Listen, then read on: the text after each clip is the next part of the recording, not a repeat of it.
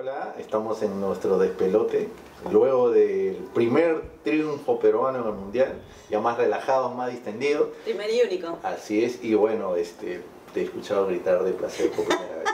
gritar de placer, De placer. gritar de emoción. No, placer de pero triunfo. bueno, pero al fin, pues al fin nos pudimos sacar esa cosa tracada acá.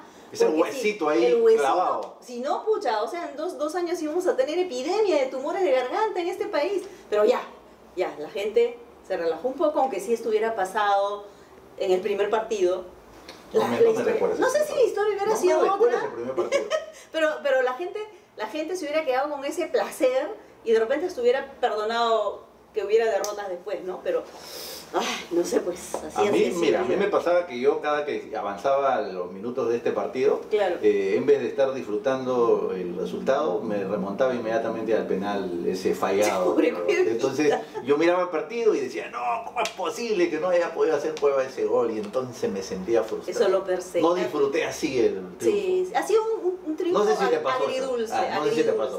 Yo en realidad ya, como te dije, ya, es- Ya habías asumido, Ya, ya. había asumido, pero de otro lado también comparemos con las otras campañas de Perú en otros mundiales, ¿no? O sea, eh, siempre se ha dicho que la del 82 fue la peor campaña. ¿Cómo te gusta comparar a ti? Te encanta. Te encanta, hay que comparar, pues hay que comparar. Disfruta Todo hay que momento, compararlo, las parejas, los partidos, los momento. equipos, los futbolistas. Yo no quiero de nuevo mirar- las parejas. yo pero no quiero ya, mirar hacia atrás. Ya, pero en todo caso, eh, no, no es por ser este pinchaglobos, pero ese es mi trabajo acá. En el, en el Mundial del 82, Perú tuvo dos empates, ¿no? Y bueno, y una derrota con goleada. Estás leyendo a Mr. Chip, ¿no? Al Mr. Chi, por favor, es mi sensei. Pero a lo que voy es, ¿qué es peor? ¿Irse con dos derrotas y bueno, y un triunfo? ¿O lo que pasó en el 82? ¿Qué es? Mira, yo creo que siempre te queda en la retina Ah. ese disfrute final. ¿no? O sea, para, para Perú era hasta casi una costumbre, una tradición, irse a los mundiales por la puerta trasera con una goleada en contra.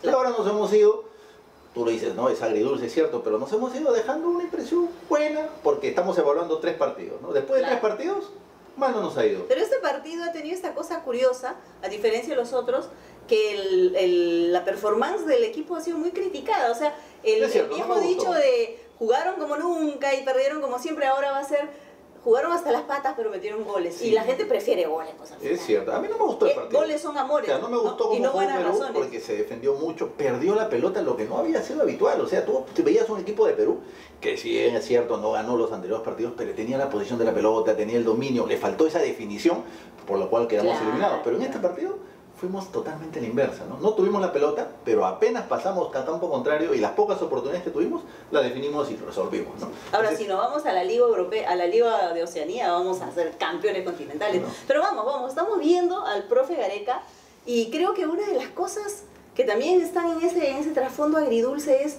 qué va a pasar, se va, no se va, cómo, cómo va a ser, cuál es nuestro, cuál es su futuro. Mira, él ha dicho, ya públicamente, y eso todo el mundo lo sabe, que en 10 días va a dar su, su respuesta final. Ujú, está pensando. Eh, creo que lo está pensando. ¿no? O sea, la, la, ¿Tú cómo la ves? la ¿Se va o no se tentación de, de- de dirigir en su país, porque se habla que está en, Mm. en el bolo para ser Claro, una de las claro. opciones de, de- sucesión de San Paoli, la, la seducción de otras selecciones como Colombia. Colombia, que después del, después del Mundial va a buscar técnico, lo andan rondando, y obviamente también la idea de, de quedarse un tiempo, ¿no? O sea, Claro. él creo que lo está, lo está ahí, pensando, ¿no? ahí yo veo una cosa que podría ser muy eh, difícil para su, para su imagen. El, el Perú lo adora.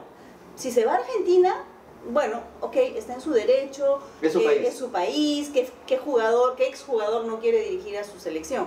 Pero si se va a Colombia, yo creo que la gente se lo va a tomar personal porque finalmente, si no es dinero, ¿a qué se va a Colombia? Por su café, por su vallenato, o sea, Ojo que- ahí sería ojo una que- cuestión ojo puramente que- económica y a Gareca lo consideran pues más puro que a la Virgen María. Pero ¿no? escúchame, en Colombia, Mm. Gareca hizo una carrera importante, dilatada, fue ídolo en América Cali y allá también tiene un pasado. O sea, no vayas a creer que solamente es que la Claro. gente lo está buscando porque hoy ahora ha hecho una buena campaña y hay que pagar. No, él tiene un pasado y eso también hace que de pronto en Colombia lo reciban bien y él se sienta cómodo en ese país. O sea, ahí ser, también va el factor ser. dinero y la comodidad del lo ambiente. importante, detrás de todo eso está, todavía, o sea, siempre va a ser necesario un entrenador de su talla, pero digo, todavía es necesario para que este equipo o, o la selección que viene siga caminando, para que nosotros sigamos...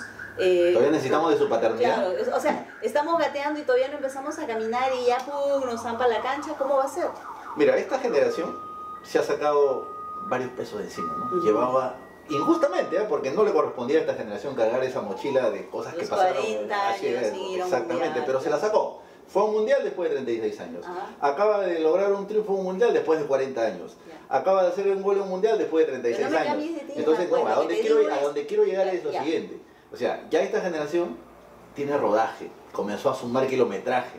Entonces, de pronto, con un liderazgo distinto, también con la experiencia que ella tiene, no le va a ser difícil asumir un nuevo desafío de volver a clasificar un mundial, hacer Pero va a haber que contratar un DT extranjero o ya tenemos gente acá que Eh, pueda yo hacer creo que todavía necesitamos un entrenador extranjero de experiencia, ¿no? Y que de pronto ese comando técnico donde está Norberto Solano como parte, como Claro. asistente, permanezca un periodo más y él podría ser el técnico del futuro, quién sabe. ¿Quién ¿no? sabe? Ahora, de otro lado, yo he escuchado mucho antes del partido e incluso después que algo como lo que tú dices, que se han quitado la mochila, que va a haber menos presión para la, la selección que vaya a, a- a- rumbo a Qatar. ya tenemos goles en HD.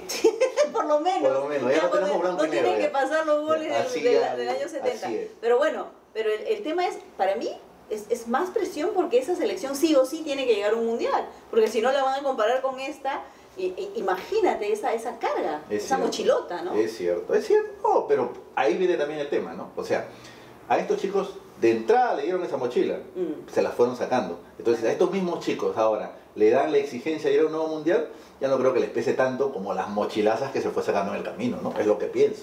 Pero bueno, ya tenemos que ir terminando. La pregunta es, ¿vamos a Qatar? ¿El vino o, o al mundial? Sí, claro, ya, Eh, a- ¿Catar un- burbujitas. ca- catar un pisquito? Sí. Claro. Ir al mundial, eh, vamos a pelearla y ¿por qué no? Sí, hay que ser optimistas, vamos a ir al mundial. O sea que nos veremos en Qatar, pero antes vamos a estar al terminar este mundial. Vamos a seguir claro, los pelones, porque esta por favor. diversión no, No te vayas todavía, no te para nada, todavía. todavía no me despido de, es. de mi fugaz incursión por el periodismo Así deportivo. Bueno, nos vemos al final del mundial. Y arriba Perú. Y arriba Perú. Por favor.